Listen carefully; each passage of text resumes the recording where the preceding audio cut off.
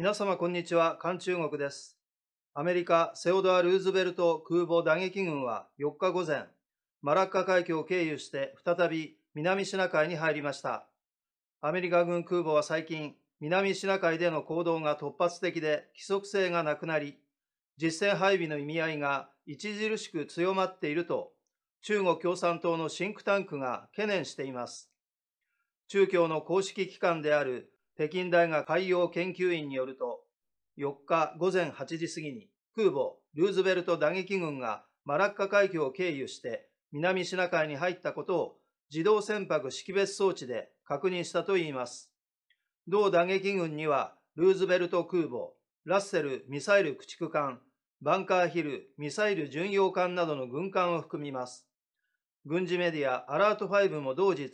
ツイッター公式アカウントで、ルーズベルト空母打撃群がマラッカ海峡を経由して南シナ海に入ったと発表しました。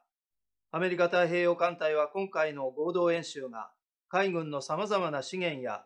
指揮統率能力の相乗効果を高め、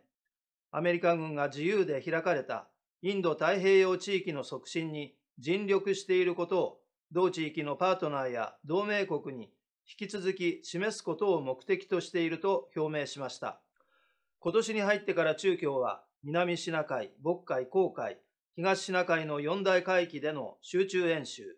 日本との領土問題がある尖閣諸島近海への中共、海警艦の航行、台湾の南西部防空識別圏への度重なる大規模な侵入など、周辺地域に四方八方から出撃し、アジア太平洋地域の情勢を加熱させ続けています。中共による海上脅威が高まる中、アメリカ軍はルーズベルトなどの空母打撃群を南シナ海に入れるだけでなく、中共が確定した台湾海峡やスプラトリー諸島の領海にも軍艦を派遣しました。5日からはベンガル湾で行われるフランス主導の合同軍事演習にアメリカ、日本、インド、オーストラリアが参加します。軍事専門家の高藤氏は、